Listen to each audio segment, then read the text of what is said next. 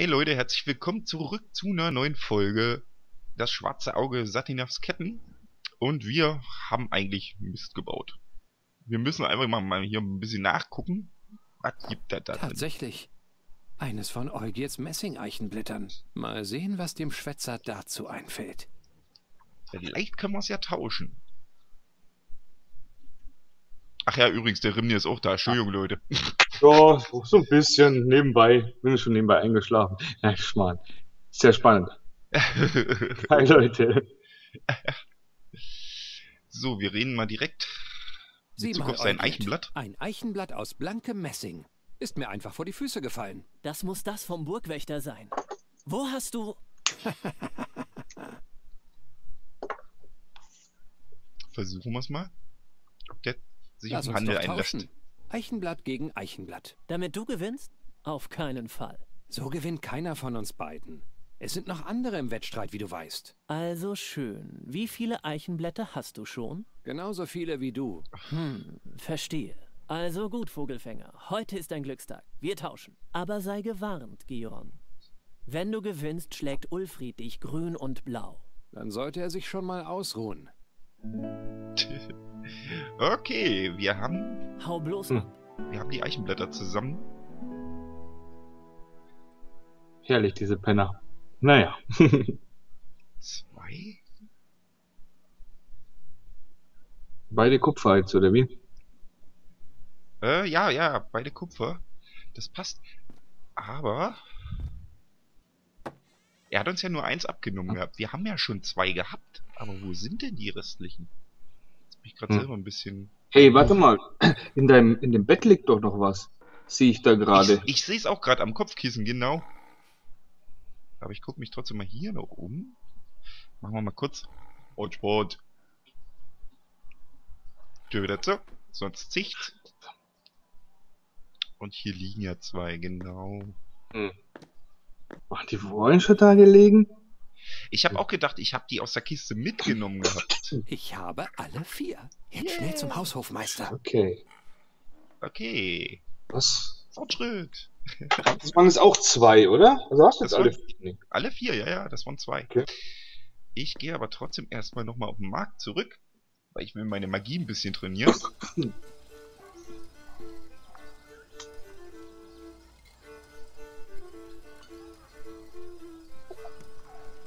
Ging denn das jetzt nochmal?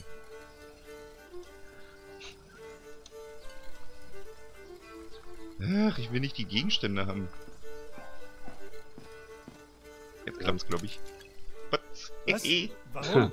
Nein, Vogelfänger, Ich stand doch nicht mal in der Nähe. das gute Bier. Das hat jetzt, glaube ich, überhaupt keinen Sinn in dem. Also, es hat überhaupt keinen Effekt, aber. Schön ist trotzdem.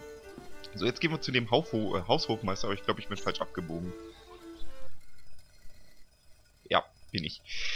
Macht nix. Geht's hier weiter zu dem? Wie hast du das jetzt eigentlich gemacht mit der Magie? Das kannst du, kannst du einzeln anwählen. Das ist, äh. Guck mal auf meine Maus. Da hast du hier diesen Hm? Item-Anzeiger und den kann ich mit dem Mausrad durchscrollen und das ist im Prinzip die Zerdepper-Magie. Zerdepper-Magie. Okay. Mal sehen, ob das beim Lostopf auch geht. Oh, oh. Da war gerade dieses Funkeln in deinen Augen. Ja, sie merkt es. Sie kommt uns da auf die Schliche. Na gut. Dann hoffe ich mal, dass es hier zum Hochmeister geht. Zum Hausmeister Krause. Hausmeister, genau. Ah, da ist er ja. Der Nervensägen-Typ. Ah, alles für den Dackel, alles für den Club. Du schon wieder? genau. So, ich würde sagen, wir haben's, wa? Ich habe alle vier Eichenblätter. Padion. Du? Zeig her. Hm. Hm. Tatsächlich. Jetzt sieht die ganze Färberbande, wer der Dumme war. Nicht so schnell. Eine Aufgabe steht dir noch bevor. Aber ich habe alle vier Blätter beisammen. Nimm dieses Stadtbanner und hisse es vor den Toren der Burg. Oh je. Das riecht nach Schikane. Es ist ein Tribut an deine Stadt und an deinen König. Es zeigt deinen Stolz, Untertan des Andergaster Königshauses zu sein. Kinderspiel. Aha. Mal gucken, ob das ein Kinderspiel ist. Lass mich raten, deshalb musst du dieses Wams wahrscheinlich anziehen. Sonst lassen sie dich nicht davor. Das weiß ich nicht. Das weiß ich wirklich nicht. Da haben wir noch einen Travia-Tempel. Im Augenblick habe ich Dringlicheres zu tun, als zu beten. Aber hier ist doch das Ding schon. Mit der Kurbel. Kurbeln wir halt mal. Spiel damit nicht rum, Vogelfänger. Ich wollte damit nicht rumspielen.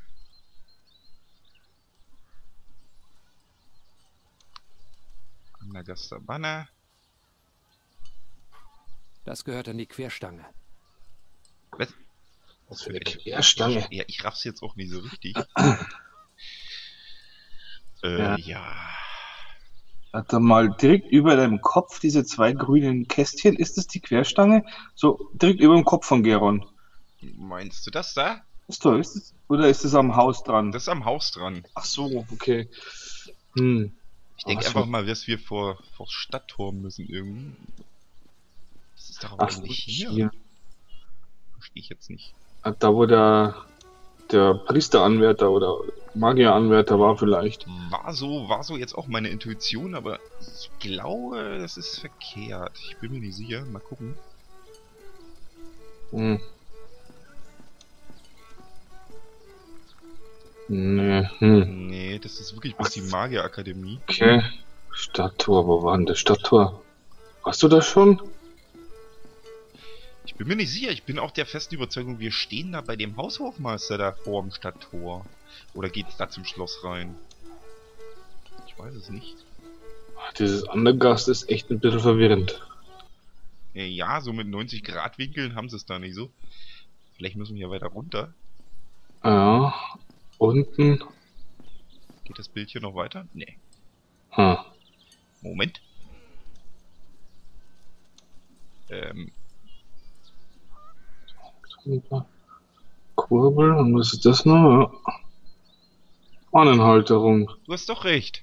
Ach so, es ist doch nicht am Haus. Ja, klar, da oben geht ja auch die, das Seil von oben wieder dahin. Ja, es ist schwierig zu sehen. Ah, ja. Also das hatte zwar mit denen hier hinten nichts zu tun, aber trotzdem war's war's schon richtig. Na, dann kurbeln wir es jetzt mal nach.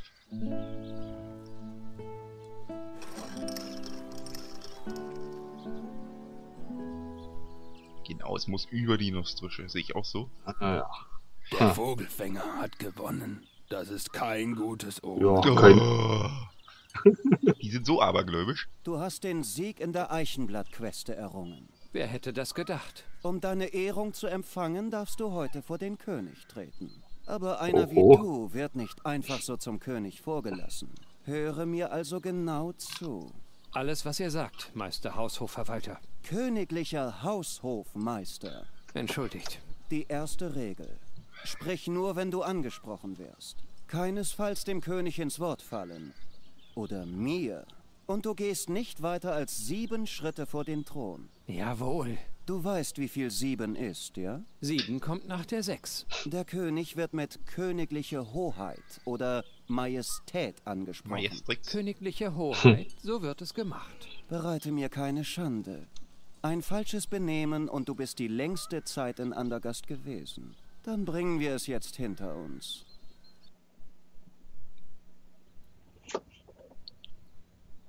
Sind das auch Neuendorf? genau sieben Schritte? Rapport. Die junge Königin von Nostria wird die kommenden Tage nicht vergessen, Majestät.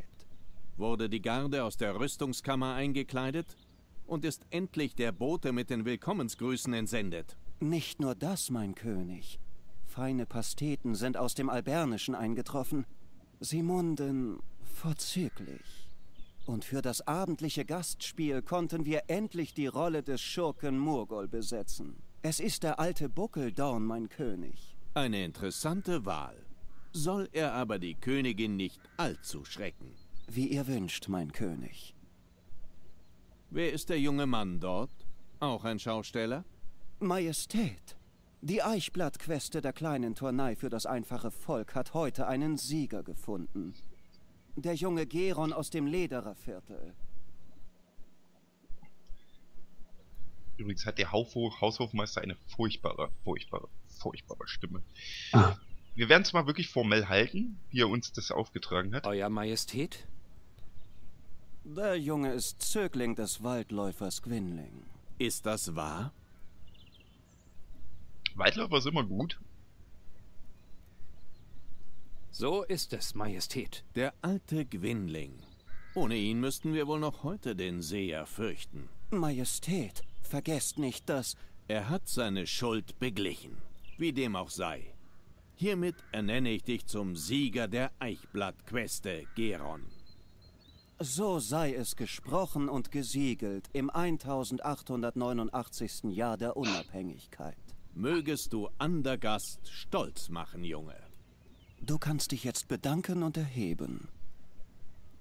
Habt Dank für diese Ehre, Euer Majestät. Deine Audienz ist beendet. Wartet. Sag, hast du das Jägerhandwerk von Gwynling gelernt, Geron?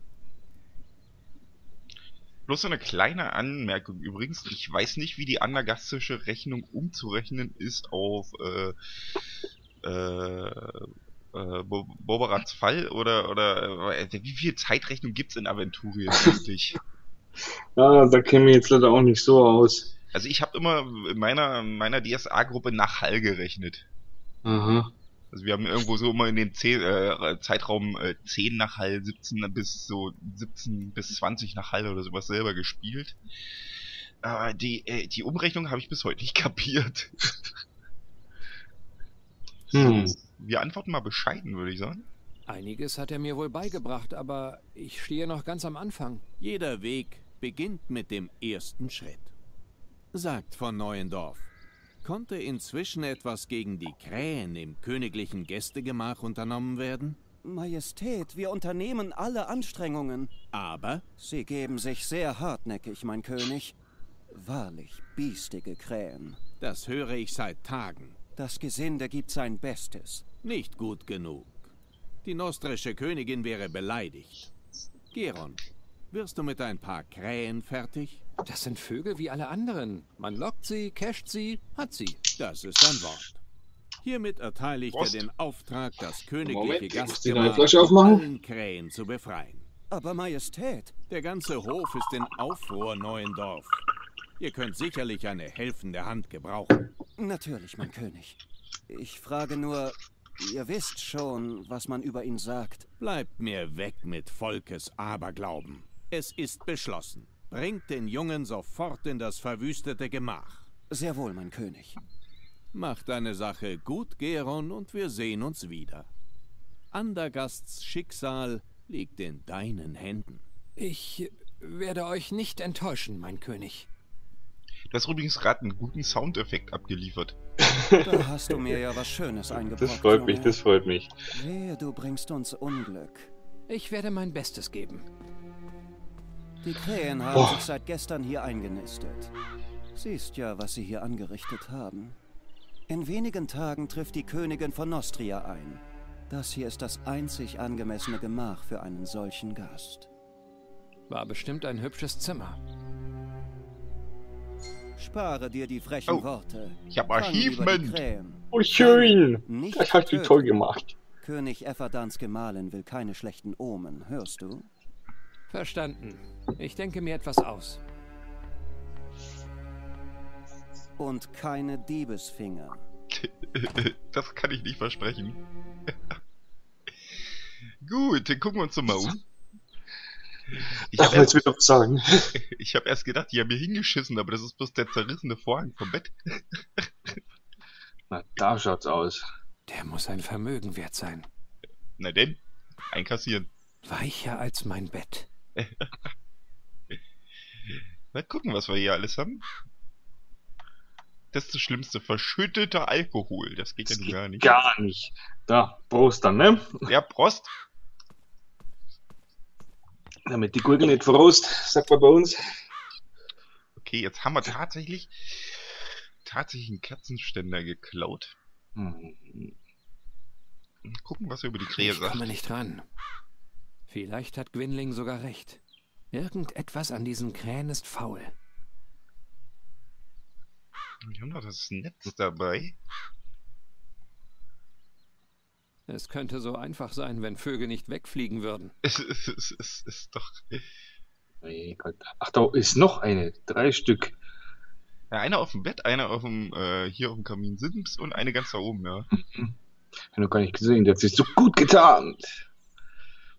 Hirschkopf. Der wird noch jemanden erschlagen, so locker wie er ist. Der wird noch jemanden Ui. erschlagen, so locker wie er ist. Den kann man Da doch kann bestimmt mitnehmen. Winlings ausgestopfte Eule nicht mithalten.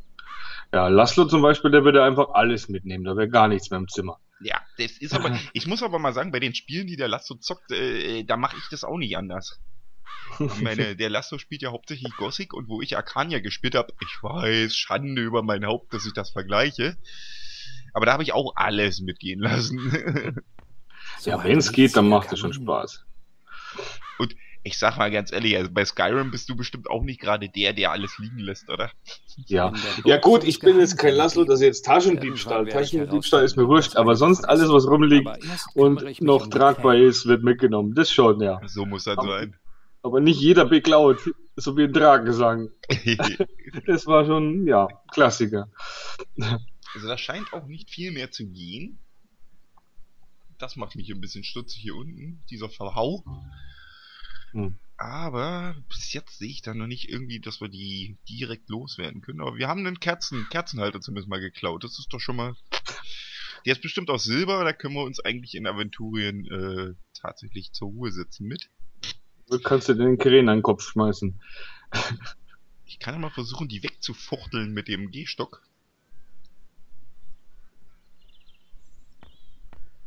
Nur fangen, nicht töten.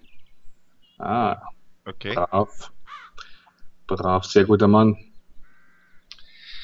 Dann, hm, kann ich irgendwie die Falle schaffen? Mögen die vielleicht die Eichel? Kein geeigneter Köder. Hm. Nee. Krähen fressen zwar alles, aber Eicheln ist denen, glaube ich, auch Kein schon zu langweilig. Falle. Hm. Ah. Oh, das ist doch, die, die ist doch größer, als ich gedacht habe, die Vogelfalle. Jetzt brauchen wir bloß noch passenden Köder. Hm. Äh, wo ist denn eigentlich das Taubenei hin? Ja, ein Ei wäre ein guter Köder. Ah, vielleicht mögen Kein sie geeigneter Köder. Nee. Die mögen Ähm, definitiv oh. nicht. Pfeil, Pfeil rüber. Im, Im Menü. Rüber über was? Ja, äh, du hast doch den Pfeil neben dem Gehstock. Ich weiß nicht, ob da noch mehr Platz ist dann.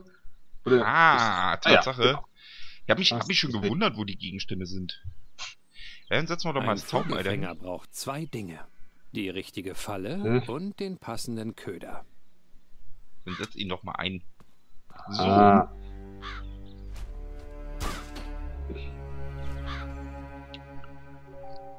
Du hörst das jetzt zwar gerade nicht, aber die Melodie und gerade die Szenerie hat mich gerade tierisch an Resident Evil 1 erinnert. oh. Übrigens auch an den Krähenraum. Hm. Ja, Resident Evil und seine Krähen. Stimmt. Nichts. Da Alles war ja was. Äh, ich weiß nicht, ob du das kennst noch, das, ob dich daran noch erinnerst, an das Bilderrätsel, wo die Krähen oben sitzen und du die Bilder in richtiger Reihenfolge drücken musst bei Resident Evil. Äh, nie. Ich und mich an irgendwas erinnern. Oh, sorry. Da Da kam zumindest die gleiche Melodie und wir haben jetzt einen ziemlich, ziemlich Hm? schweren Kein Wunder, dass Äh. der Hirsch heruntergefallen ist. Hirschkopf Äh, auch noch. Die Halterung ist Hat er ganz den jetzt mitgenommen? Echt jetzt? Ja, der hat jetzt den Hirschkopf hier im Menü drin, irgendwo. Da ist er. Morgen hätte sich den bestimmt wieder in den BH reingeschoben. Ein super Spiel, also muss ich echt sagen, auch wenn es Ja. nicht von, Dan, äh, von Daedalic war. Können wir jetzt schon wieder raus? Nee. Hm, müsste erst die anderen, oder? Die anderen So ein fangen. riesiger Kamin. In der Hm. Burg soll es Wie? Geheimgänge Der eine. Vogel ist ja jetzt in der Falle, werde ich oder? herausfinden, ob das einer davon ist. Aber erst kümmere ich mich um die Krähen. Die eine haben wir gefangen, aber nützt das? Hm. Äh, ach, du hast da noch ein Netz, oder? Ganz Ja. vorne. Vielleicht, genau, wollte ich, wollte ich nämlich auch gerade probieren, ob man die da jetzt einfach in das Netz vielleicht Die eintüten Idee kann. ist gut. Aber ich muss das. Netz irgendwo aufspannen. Ah. Ja, das, das, das machen wir doch am Haken hier. Ich sollte erst einmal den Hirsch wieder aufhängen. Was? Was? Warum? Ich locke die Krähen in den Will Kamin jetzt und aufräumen? das Netz davor. Dann fliegen sie durch den Schacht und durchs Fenster wieder hinein. Ähm, An, an den Hirschen beschä äh, beschäftigen, befestigen. ich Vielleicht. weiß nicht, ob der da jetzt noch hält. Hm. Aber ich probier's Ja. mal. Ist er noch da? Wow, locker mit einer Hand. Da Sehr kann Gwynlings souverän. ausgestopfte Eule nicht mithalten. Vielleicht kann ich jetzt am Geweih das Netz aufhängen. Mhm. Aber halt dann noch ein Köder. Ich hänge das Netz an seinem Geweih auf. Ah, Aber wo verknote ja. ich es unten? Äh, Ich Äh. locke die Krähen in den Kamin und spanne das Netz davor. Dann fliegen sie durch den Schacht und durchs Fenster wieder hinein. mach das Fenster zu jung. Ah, boah, ganz schön umständlich die Falle. Besser nicht. Sechs Arme. Nicht schlecht, um ein Netz aufzuspannen. Aber was nützt mir das hier? Hm. ich bin da schon auf dem richtigen Trichter. Der sah da im, im, im Ja. Fensterbrett kleiner aus. Alles klar, ich hab, ich hab Plan, ich hab einen Plan. Pass auf. Seit wann? Spaß. So, jetzt haben wir ein Netz gespannt. Ganz toll. Ein Kunstwerk. Super. Und jetzt kann ich vielleicht sogar die gefangene Krähe da schon reinsetzen. Äh,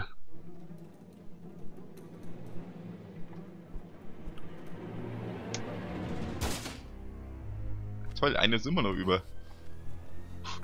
Oh, das sieht nicht so gut aus, was wir da gemacht haben. ja, das ist doch wieder Resident Evil. Ich muss eh sagen, das hat eine ziemlich düstere Atmosphäre, das Spiel.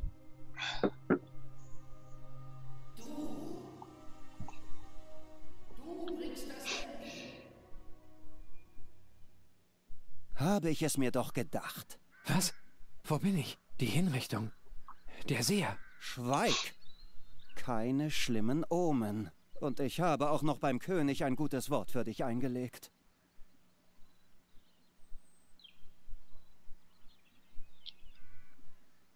Was soll sie mal nicht Was ist aufregen? passiert? Ich weiß, was passieren wird. Bis zur sechsten Abendstunde fängst du die Krähen ein. Zwei Oder du doch kommst schon. an den Pranger. Die Krähen. Richtig. Das hat wohl nicht geklappt. Deine Sanduhr rieselt, Vogelfänger. Bis zur sechsten Abendstunde. Dieser Traum, er... Reiß dich zusammen, Geron, und kümmere dich endlich um diese Krähen. Der König vertraut mir. Ich darf ihn nicht enttäuschen. Vielleicht hat Gwynling beim Sezieren etwas herausgefunden, das mir weiterhilft. Das ist ein guter Tipp. Ich wollte sowieso wieder in die Werkstatt zurück und mal gucken, ob Gwynlin vielleicht schon den äh, Käfig wieder repariert hat. Mhm. Und Oder vielleicht diese- findest du noch. Diese Falle, was das war. Allerdings muss ich mal sagen, das finden wir raus erst wieder im nächsten Part, Leute. Weil, ist schon wieder soweit. Zeit vergeht beim Aufnehmen, ne? Das ist Wahnsinn. mhm. Ohne Ende. Hm. Und Sache an dieser Stelle, ich danke euch fürs Zusehen. Und bis zum nächsten Mal. Macht es gut. Ciao, Servus.